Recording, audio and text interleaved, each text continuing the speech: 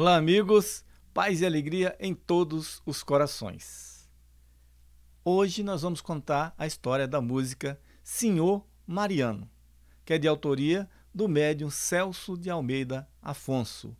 Mas para falar dessa música, né, que não é nossa, mas a gente teve inspiração baseado na história de um grande homem, Mariano da Cunha Júnior, mais conhecido como Senhor Mariano, um vulto quase esquecido pelos espíritas brasileiros, embora ele tenha sido um dos mais brilhantes médiums que já passou aqui na nossa pátria.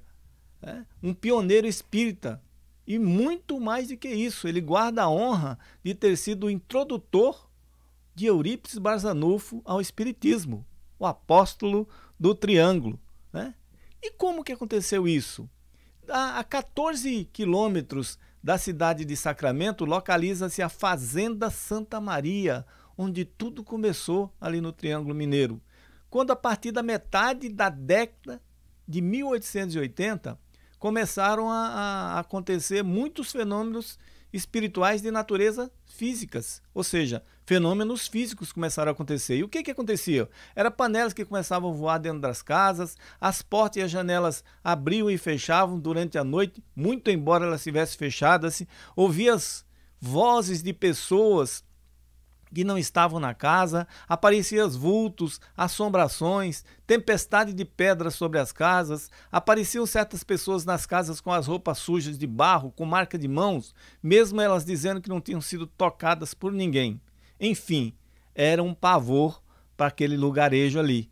E os moradores, eles ficaram apavorados. Mas isso coincidiu com a ida para lá de Mariano Cunha Júnior, mais conhecido como tio, senhor Mariano, é sobrinho ou tio de Eurípides Barzanufo, como nós já falamos. Ele tinha acabado de se casar com Irondina de Janira, o nome da esposa dele, que era neta do capitão São Roque. Capitão São Roque era o líder ruralista ali e ligado ferrenhamente às tradições católicas. Então, já não é estranho nós falarmos que o senhor Mariano se desentendeu com o capitão pois ele abraçou aquela causa ali. Ele se interessou por aquilo que estava ocorrendo, porque ele já tinha trabalhado como contador prático hum, hum, com Frederico Peiró na fazenda Paineiras, que hoje é, leva o nome de Peirópolis em homenagem a ele, a Frederico Peiró. Naquela ocasião, ele tinha presenciado a conversão de Frederico Peiró ao Espiritismo e viu o entusiasmo de Frederico Peiró pela nova doutrina. Certo? Então, Ali, diante daqueles fenômenos, ele resolveu pedir ajuda para o amigo. E o que, que aconteceu? Ele seguiu imediatamente com o senhor Mariano para a fazenda, que foi lá chamá-lo, é claro, lá pedir ajuda. E lá eles tentaram conversar com as pessoas e explicar que aquilo que estava acontecendo eram fenômenos físicos normais dos espíritos e não tinha nada a ver com coisas diabólicas, que aquelas coisas eram coisas de Deus também. O que eles precisavam era se reunir e perguntar para aqueles espíritos o que eles estavam querendo. E eles aceitaram o apoio dos dois, né, de senhor Mariano e de Frederico Peró, e descobriram que no meio daquelas pessoas ali era uma, uma leva de médios que existia ali naquela, naquela fazenda, né? muitos médios e sobre é, a liderança dos dois, descobriram que existia médios psicográficos, médios psicofônicos, médios de cura, médios de efeitos físicos, muitos médios ali. E, Fred, e, e senhor Mariano liderando todos eles, porque depois Frederico Peró voltou para a cidade dele, né? E ali, no dia 28 de agosto do ano de 1900, foi fundado o primeiro centro espírita, chamado Fé e Amor, que até hoje existe esse centro espírita lá para visitação e com trabalhos normais que acontecem lá também, na Fazenda Santa Maria, pertinho de Sacramento. É, no início do trabalho era interessante porque a gente, nós estávamos lá na década de 1880, né? era usada a mesinha telegráfica né? nas batidas no início do trabalho lá na Fazenda Santa Maria ele recebia as palavras cifradas por meio das, de leves pancadas e decifrava ali o que, que os espíritos estavam querendo. Agora, por ironia do destino, ele tinha encrenca lá com o capitão São Roque, né, que era revoltado contra aquelas práticas, Mas o Capitão São Roque ficou doente de uma perna, uma ferida muito grande que saiu na perna e não cicatrizava essa ferida e procurou vários médicos, porque ele tinha poder, né? Procurou vários médicos e não conseguiu. Quem curou ele foi o senhor Mariano, pela mediunidade de cura. E a, a partir dali daquele momento, o senhor Mariano teve o trabalho dele muito mais facilitado com o apoio do capitão São Roque. O tio senhor era visto por todos como aquele homem bondoso, bondoso que não media sacrifícios em socorrer, em confortar os sofredores e os desorientados, tratando todos com carinho, tratando todos com amor. Naquela época, né? Ele saía a cavalo ou saía a pé para atender doentes, para atender obsedados, desajustados, curando enfermos e até fazendo partos, levando em nome de Jesus o auxílio bendito a toda parte, inclusive a casebres, antes habitados pela dor e pela miséria. A gente tem que imaginar que ninguém tinha facilidade para ter médicos naquela época à disposição, não existia. Eram esses homens, esses grandes homens, que com a ajuda da espiritualidade ajudavam as pessoas ali necessitadas. E o Celso de Almeida Afonso, provavelmente baseado nessa história do senhor Mariano, que é linda, ele recebeu pela psicografia a música em homenagem a esse ícone da doutrina espírita, que é o senhor Mariano, que nós vamos cantar ela para vocês.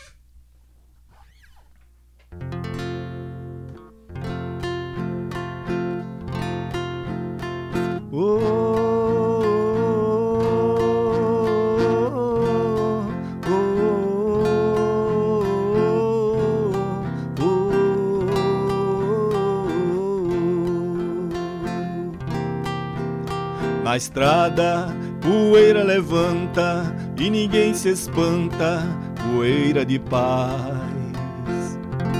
Montaria leve, cavaleiro alegre, segue seu destino pra falar de amor. Vai, Senhor, Senhor Mariano, no embornal leva o fardo leve e a dor em breve fica como luz. Poeira baixa no meio da estrada, a sua chegada é aviso de Jesus. Vem, Senhor, Senhor Mariano, trazendo a paz neste novo dia, deste coração de Santa Maria.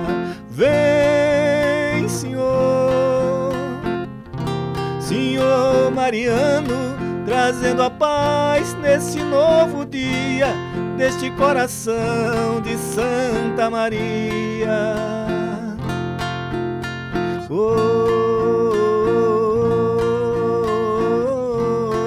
oh,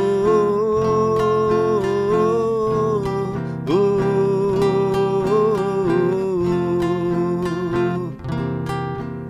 Na estrada, poeira levanta e ninguém se espanta, poeira de paz.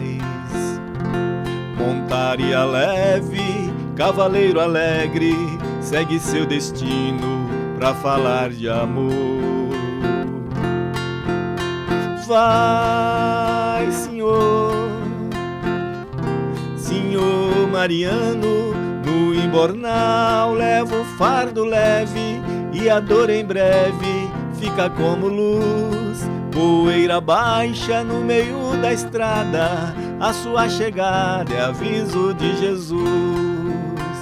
Vem, Senhor, Senhor Mariano, trazendo a paz neste novo dia, deste coração de Santa Maria.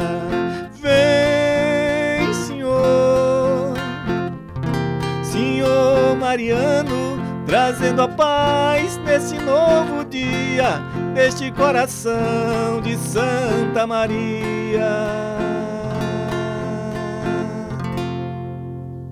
Linda música, linda letra do Celso de Almeida Afonso, que também já partiu para a pátria espiritual, mas deixou essa preciosidade. Mas como nós falamos no começo, né, só para ilustrar um pouco mais, é, no início de 1903, ele foi até é, Sacramento, que era onde Eurípides morava, né? Ele ficava hospedado na casa da irmã dele, na casa da dona Meca, mãe de Eurípides, e Eurípides era muito amigo dele e pedia para ele ficar no mesmo quarto que ele, porque Eurípides queria dissuadir o senhor Mariano, porque ele achava que o espiritismo era prática demoníaca.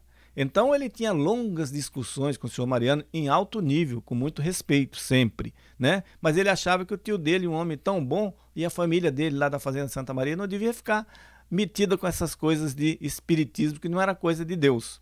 E um dia depois ali de longos de longos bate-papos, de longas discussões, né, de longas colocações, cada um colocando a sua posição, o senhor Mariano desistiu e falou que ele era um homem rude do campo e não tinha argumentos para discutir ideias religiosas com ele, com Eurípides, que era um moço preparado, estudioso, inteligente, culto, dominador de vários idiomas. No entanto, ele pegou um livro, um exemplar do livro Depois da Morte, do francês Léon Denis, que é um excelente livro, indicado para todos nós, e disse: Olha, o que eu não posso explicar a você, esse livro vai fazer em parte por mim. Eurípides pegou o livro e leu primeiramente o prefácio ali na frente dele. E no prefácio, que é um prefácio fantástico, autoexplicativo, ele já disse para o senhor Mariano: Isto é muito bom, é muito bonito e profundo.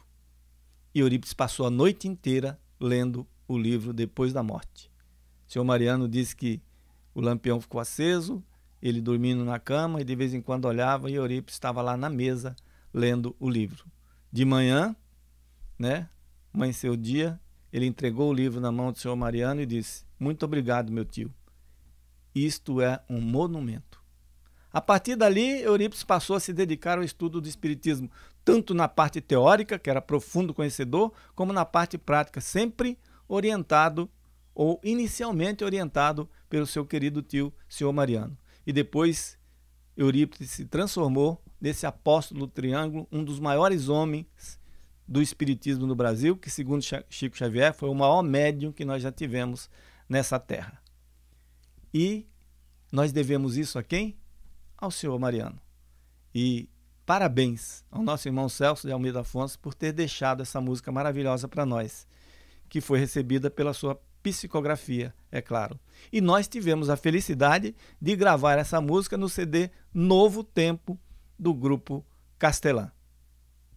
Amigos, espero que vocês tenham gostado da música Senhor Mariano e dessa história que pode ser encontrada em muitos livros que falam sobre Eurípides Bazanufo, sobre o Senhor Mariano, muitos livros já psicografados pelo Emanuel, lá da cidade de Conquista também, ali no Triângulo Mineiro, que é o Senhor Mariano que passa para ele. Então dá para estudar bastante sobre esse grande homem que passou na nossa doutrina.